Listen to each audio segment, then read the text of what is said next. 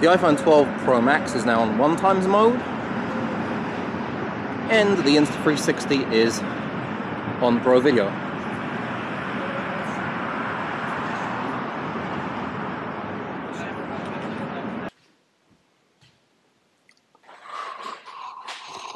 Mm. right, so today we're talking about the Insta360 Go 2. And it's what you can see now. it's a fun little camera, you can basically stick anywhere you want. And it comes in at $300. I'm going to tell you straight off the bat, absolutely no lies, this is my favorite vlog camera as of right now. By far my favorite vlog camera because it's so convenient and having a vlog camera be convenient is no doubt the best thing I can possibly think of because if it's not convenient, I don't want to take it with me, but this thing I can basically take everywhere. This little monster can film in 2.7K at 18 megabits per second it has a 35mm equivalent 11mm focal length at f2.2. The ISO goes from 100 to 3200. It's got USB-C and it has a 32GB internal memory space thing for all your funky videos that you're going to record.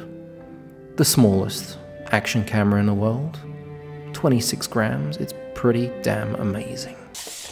Let's talk about the ugly first. It's white, it should be black. All professional cameras are black. Whenever you go on a film set, you should be dressed in black, so you don't reflect. It's white, it reflects. Insta360, please make the next version black. The next thing, workflow. It's a bit of a pain because you have it on your camera, then you either edit in your phone or on the Insta360 desktop app, and then you put it into Final Cut or Premiere, whatever you, you know, DaVinci, whatever you edit on. I wish that middle bit wasn't there, but I do understand it's got to be there because if you have the 360 degree workaround, you got to use it. If you use the Pro Video, where you've got this sphere that you choose your frame from, you've got to use it, unfortunately. Those are the two downsides, but you get to live with it. The white thing, they can fix. The workflow bit, not too sure. So $300 for the world's smallest action camera. Yeah, it's worth it. It's worth it. I mean, the iPhone 12 Pro Max or the 13, whatever now it is, it costs a thousand plus dollars. It's expensive. This costs $300. It is tiny. I mean, like, look, that's my hand. That's how small it is. It's tiny. It fits in your pocket and it weighs 63 grams. If you actually take the camera out, this thing weighs 26 grams. Look at it. Look how tiny that thing is. I mean, it is minuscule. If you can say a camera is minuscule, this is the camera that's minuscule. This charging case is fantastic. Not only is it a charging case, but it is also a mini tripod. So you're out and about and you're like, boom. Not only is it a charging case, a mini tripod, but it is also a remote. So you've got this little buttons here that you can use it because when you take the camera out, it has a button there and it's got four different things tap, double tap, press, and double press. I hate them all. So I've changed every single one of those, which you can do via the app, to Pro Video. So whatever I do, it turns on Pro Video. Thank God for that, because remembering what all the different, thing, different things do or pressing them by mistake was a pain in the ass. I wish the next version had a tiny little screen just so you could see what the actual preview, a little, it could even be this big, just to see the preview, because most of the time I will open up the app, I will go into the app, I will press it, you'll have to go into connect where it has to connect with Bluetooth, which will take a second as you'll see. Then it will ask you to join, so join, there we go. And when it's done that, you could actually connect to it, get a preview right there. And this should be you guys over there. So you're probably looking really, really good. There we go. So this is the preview. This is what it looks like. If I just get my face out of the way, there we go. It's pretty much got very little lag. This is me. How you doing? so the point of the app is that I will take my camera out. I will attach it to something. For example, this up here and I will position it, you know, just a little bit down a little bit up, so I've got the perfect view, but I have no idea what it is. That's why I use the app to get the perfect view. Otherwise, I'm filming blind, which, as we all know, is just silly. That's okay for a 360 camera, but for a camera that has a view looking in one direction, you gotta know what you're filming. So the app comes in handy. Now, accessories, fantastic accessories. You've got like hat accessories for your, you know, YouTubers. you have the remote charger and case accessory, which is fantastic.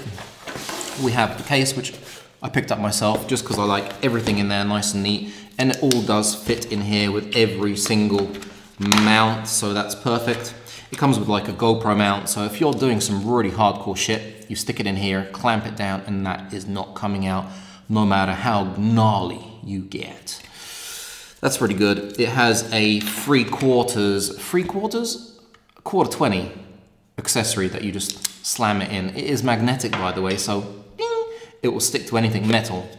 This is another one with the GoPro feet at the bottom, and by far the best accessory out there is this one, which has got sticky tape on the bottom. You clean it off, stick it to anything, stick your camera in there, and boom, you are away. With Pro Video Mode, you can actually have it like this, and it will still be straight, because you can choose the frame afterwards, which is fantastic. Now, I did use the sticky on my car, and it does work very well. Check out this footage of me blazing it, blasting it, going like crazy through Łódź. This stuck to the top side, bottom left, next to the wheel, everything. It did not fall off. The magnet held in nice and strong. Check it out now.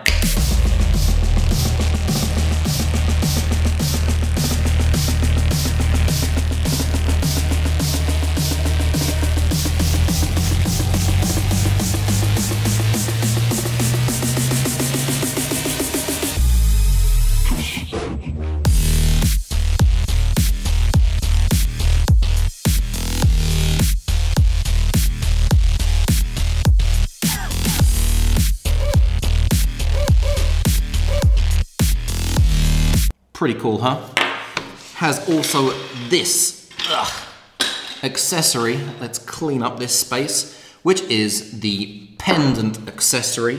Fantastic thing. You put it under your shirt and you put it on there. But as most of us have black shirts because we're YouTubers, we have a white camera. We would like it to be inconspicuous, make it black next time. The pendant's cool, but if you kind of run, it might do that. That sounded funny, didn't it? Pendant is great. So yeah, fantastic camera, magnetic, will fit in every single orifice, hole, place, everything, even goes underwater, four meters underwater, and it's got something called Aquavision 2 in the app. You press it and it magically changes your colors from fugly to beautiful underwater colors, which is absolutely fantastic.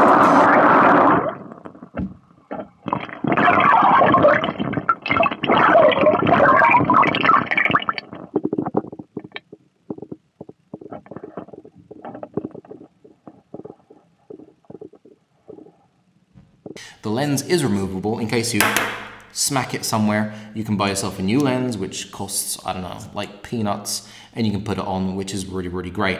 This lasts 30 minutes, charges 30 minutes. The case lasts about 130 minutes, charges 60 minutes. Put it in the case, and this thing is charging. I mean, they, they have thought of absolutely everything. Now, when it comes to the modes, this guy has a few modes, so it's got video mode.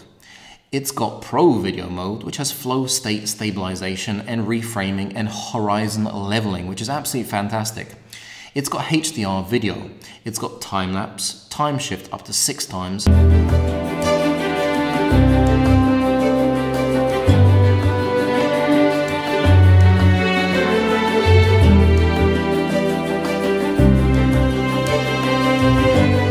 Slow motion, which is in 1080p at 120 frames per second, and photo in JPEG and RAW. Now you can change through different color profiles. You have log, which is just desaturated and it's made for, you know, editing afterwards to make it look all pretty. You've got vivid, which is just crazy saturated colors, and you've got standard, which I use because I don't want to faff about later on. I want to put it in my computer, edit it, chuck, chuck, chuck, get it out, go home and chill with the peeps at home. You know how it is. So, film in standard. If you really want a quick edit, film in normal video mode. It's got basic stabilization, but if you really want to get that thing crazy, because you can basically take this, you can film it, and it doesn't matter how you're holding it in pro video. You're doing this outside, it will be level. It will be just straight as it gets. In normal video mode, it will be like this, unfortunately. But in pro video mode, you're just going crazy, and it's just like this. And you're just doing this. Absolutely incredible stuff. Stabilization is insane. Let me compare it to the iPhone 12 Pro Max right now, just walking normally so you guys can get a feel of what the stabilization is on these two compared to each other.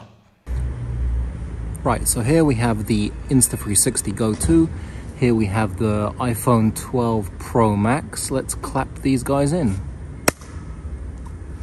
And let's go for a walk and see what the stabilization looks like, huh? So this is me casually walking and um, yeah, I'm, I'm moving my hand a bit. I don't know how the audio is. This is the audio on the iPhone 12 Pro Max. This is the audio on the Insta360 Go 2. And I'm just casually walking around seeing what this looks like. Now, if I turn the other way and go for a run, let's see what that looks like. I'm holding it with one hand and it's bouncing around a little bit so I don't know which one looks better maybe the left or the right. Right we're gonna flip it around the other way now and see just how smooth I can hold it doing the ninja walk. Now this here is the ninja walk there we go and now this is gonna be me running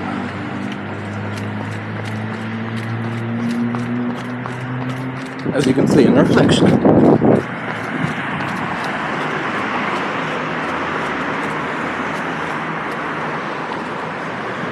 So I'm guessing which one of those was smoother. Let's go back to the studio and check it out. Now the audio does sound good on both of them. It's a fantastic little tool. And for $300, I think it's an absolute awesome bargain. It's something I can stick in my pocket, go out there, film anywhere, stick it in on, in, around everything I possibly want. It's a tool that can do awesome stuff, including almost be like a probe lens. I love the pro. Check, check, check, check this out. This is this on the Moza Slypod E.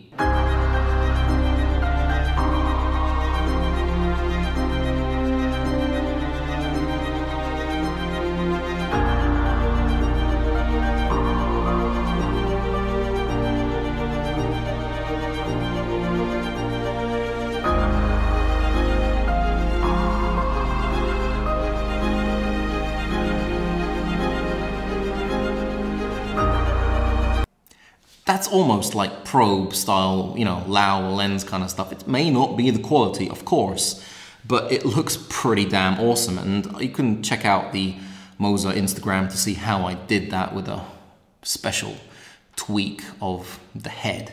Anyway, it's got an iOS and an Android app, works perfectly. The app is just insanely good. Thank you. Insta360 for this. I absolutely love it. I will be dropping some more films you know, tips and tricks and shit along the way. The selfie stick mm, is absolutely fantastic. It helps you get this, you know, long kind of view. Any questions, drop them in the comments below. I will be happy to get back to you. Affiliate links are down below. The subscribe button is there. It should not be red. Thumbs up if you did like my film. Double thumbs up. Down if you didn't like it. and uh, I hope you guys have a fantastic day. I'm going to catch you soon.